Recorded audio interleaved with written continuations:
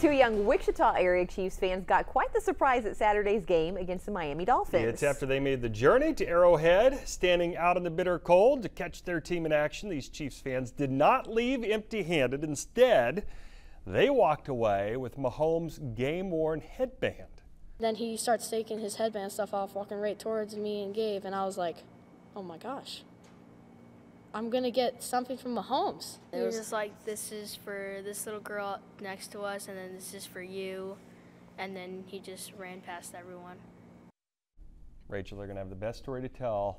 I would be fighting over that. in school. That story will, will carry on for years. They also said they plan to put the headband with other Chiefs memorabilia with photos of them at the game. Pretty cool.